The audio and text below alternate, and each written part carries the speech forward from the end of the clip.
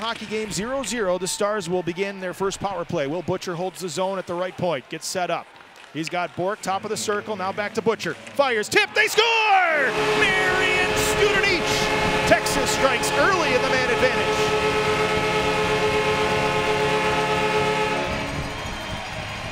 Well, that's a good way to snap out of a power play drought. 11 seconds in on a redirect from Studenic. Butcher will get the primary. Stranges again. Angles it to Butcher. Butcher looks inside. Butcher saucers it. Bourque looks, fire, scores! Mavrik Bourque!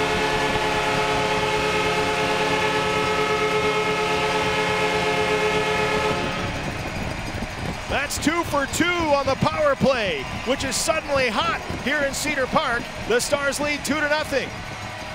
Midway through the man advantage, Mavrik Bourque with the toe drag and the patience.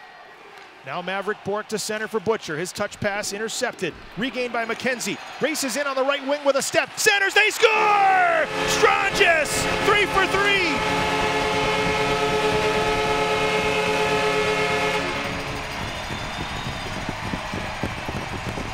There's a pair of points for the rookie tonight already. Antonio Stranges with a goal and an assist, and McKenzie with a perfect pass here.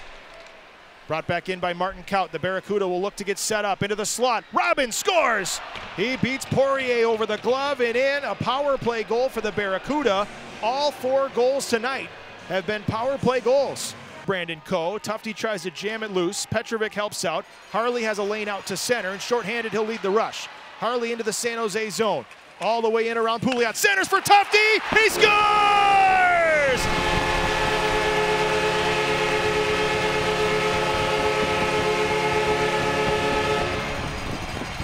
Second shorthanded goal of the season for Riley Tufte.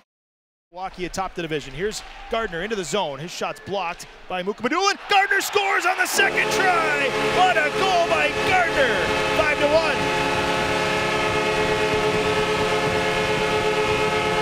I don't know how he snuck that one in past Dell, but he didn't have a lot of room to work it across the goal line. Top corner after the first shot was stopped. Rhett Gardner gets his 3 to 12, and they lead 5-1. Here comes Ryan Shea into the zone for Studenic. Back to Shea. He scores on the first shot against Strauss-Mann. It's 6 to 1.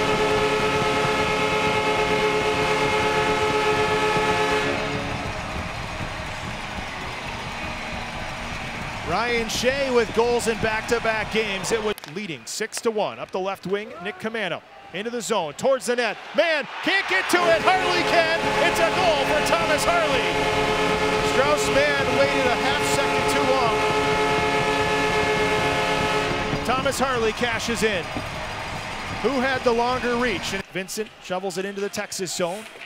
Out to play it is Poirier given away, and Poirier with a massive save. How did that one goodness, Remi Poirier in scramble mode on the turnover robs Will Rydell. Here come the Remy chance. Ander goes wide. The final four games of the regular season for the Stars will be on home ice that last week. Two against Manitoba on the 11th and 12th. We're going to get some action behind the play here as Tufte was checked by Wiesblatt. There's Wiesblatt again in the mix. Gardner went after Wiesblatt, and Gardner's going to go to the box. Now Brady wants a piece of Tufte, and those two are going to go. They're going to drop the gloves here, Tufte and Brady. Now, I don't know if this will qualify as a secondary altercation, but if that's the case, it may be the end of the night for Tufte and Brady. They drop the gloves. They're going to fight here at the near side of the ice. Tufte gets a right in. Then he's tangled up and takes Brady down. And the linesman will now step in and call an end to it. But Stars up 7-1. Four goals in the first, three goals in the second. Here's a wrister. Stopped by Poirier. Rebound. They score. The Barracuda have two. The shot off the faceoff was fought off by Poirier, but he didn't know where that rebound wound up. The Stars and the Barracuda are done from here. They do not play again the rest of the way. Texas not only clinched a playoff spot last night, but they will end the night in first place in the Central Division standings again. The Stars leapfrog Milwaukee, and with six Texas is at the top of the division. They beat San Jose 7 2.